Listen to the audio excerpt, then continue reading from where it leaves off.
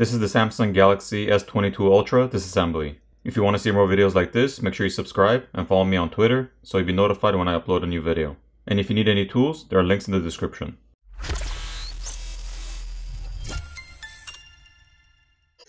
First, the SIM tray needs to be removed. We'll also go ahead and remove the S Pen.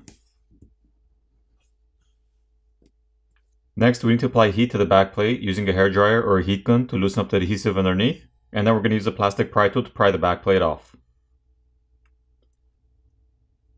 Here's a better look at the glass back plate.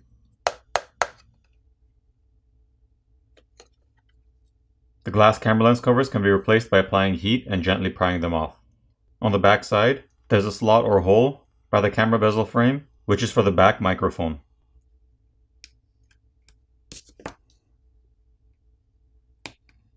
Beneath that cover, there's a rubber gasket and mesh filter. It picks up or detects sound from slight openings around the rings. There are 15 Phillips screws that need to be removed. Now the flex cable for the wireless charging coil and the NFC antenna need to be disconnected. And then the graphite film needs to be peeled off from the bottom speaker assembly.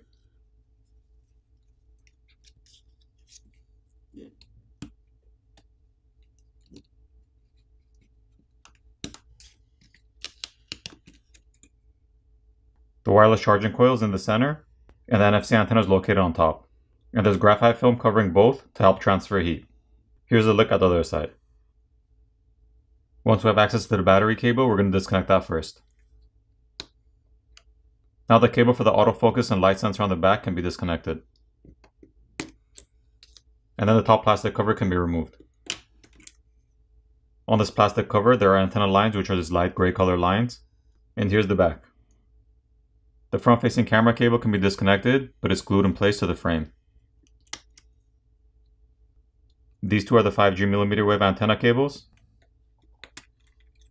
the cable for the S Pen, and the two flex cables connecting the top components to the bottom ones of the phone. There's one more flex cable which I believe might be related to the S Pen, and one more flex cable leading from the main board to the subboard. At this point, the main board can be lifted up and removed.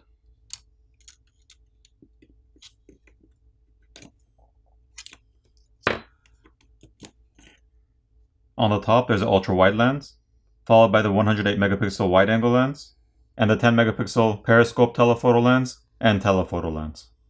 All of the cameras, aside from the 12 megapixel ultra-wide camera, have OIS or optical image stabilization. There's a secondary microphone located on top, and the LED flash is located over here. The main board is a multi-layer board design.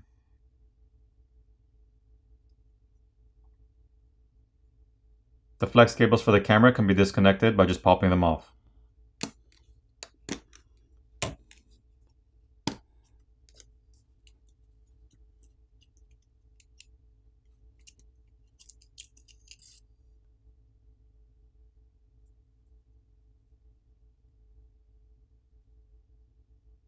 The microphone for the back plate is located here, and the proximity sensor is located next to it. There's also graphite film over the back shield. Once the graphite film is peeled off, we can see thermal paste on top of the processor and RAM, and this thermal paste is the new thermal paste Samsung refers to as the Gel Tim, or TIM. It doesn't look anything out of the ordinary, and this is the same one that's used throughout the S22 series. However, I have noticed it's more evenly spread out over the chip. Here's a look at the RAM sitting on top of the Snapdragon 8 Gen 1 processor, and the ROM or storage located above it. There are two Phillips screws holding on the top speaker assembly that need to be removed. This top speaker assembly has those little white foam balls on the bottom and top corner. And here's a look at the other side.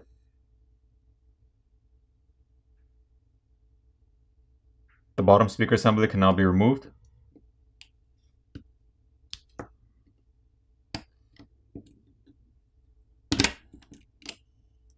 Looking at the bottom speaker assembly, there's a thermal pad on the bottom, as well as the little white foam balls. And the linear vibrator motor is located on the bottom speaker assembly as well.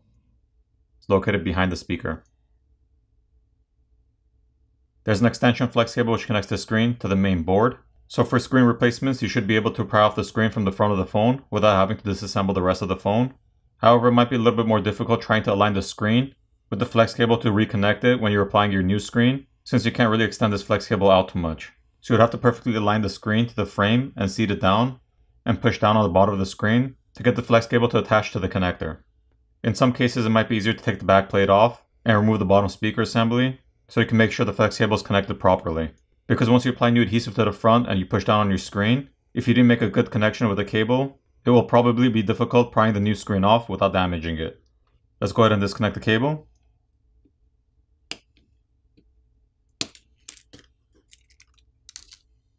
And then we can disconnect the flex cables connecting the main board to the subboard. There are three Phillips screws which are holding down the subboard that need to be removed. Now the subboard can be lifted up and removed.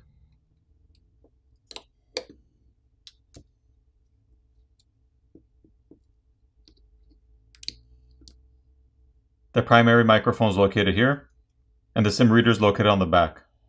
There's also a red rubber gasket around the charger port. As always with Samsung, there's no adhesive pull tabs to help pry the battery off. So we're going to have to apply some isopropyl alcohol around the edges of the battery and let it sit there for about 30 seconds so it eats away at the adhesive underneath, making it easier to pry the battery off.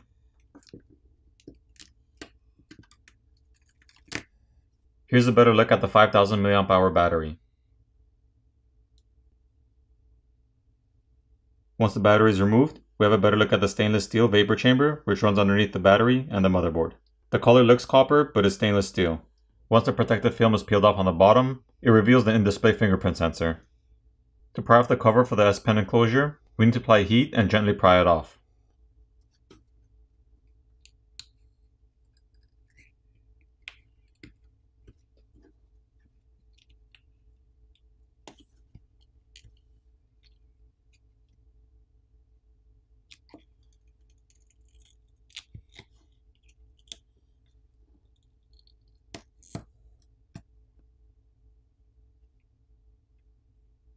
Here's a look inside the enclosure.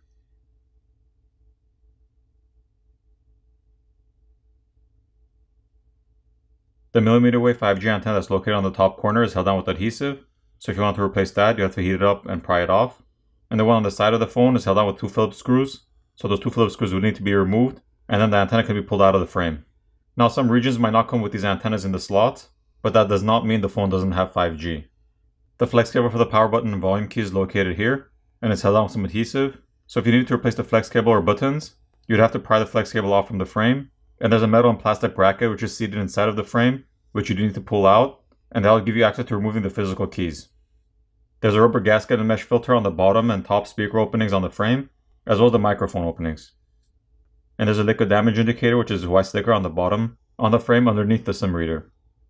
To pry the screen off, we need to apply heat to loosen up the adhesive underneath, and then we're going to use a suction cup tool to help us gain leverage to get a pry tone between the screen and the frame so we can work our way around and pry the screen off.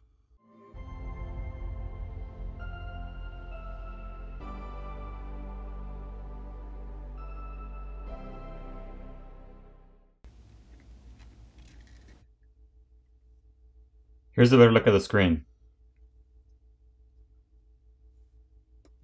Prying the screen off was incredibly difficult and took a lot of time and patience. The adhesive around the screen holding it down is really strong, so especially prying a working screen off will require a lot of time. So I got the flex cable over here for the S Pen support, the cutout for the proximity sensor and front facing camera, and the in-display fingerprint reader. Now this fingerprint reader is soldered to the main screen, even though it has a cable connector over here on the bottom, so replacement screens would come with this fingerprint reader pre-installed. Once the screen is removed, there's layers of graphite to help transfer heat. Once the graphite film is peeled off, we have a better look at the stainless steel vapor chamber. Now again, the stainless steel may look like it's copper due to the color, but it's just probably color treated since I tested it with the Mohs hardness scale and verified it to be stainless steel. Copper usually will scratch at a 3 and stainless steel around a 6. So by testing it, I was able to see some scratches starting from a number 6.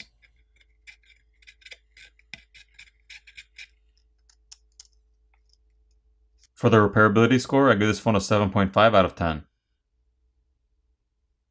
Now it's time to put the phone back together.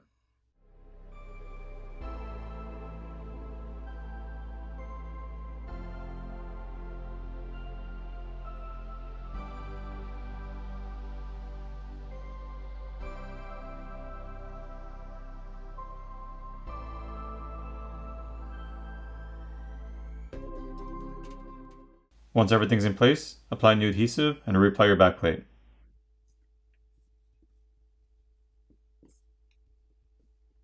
Flip over the phone, power it on, and you're done. I hope you enjoyed the video, and I'll see you in the next one.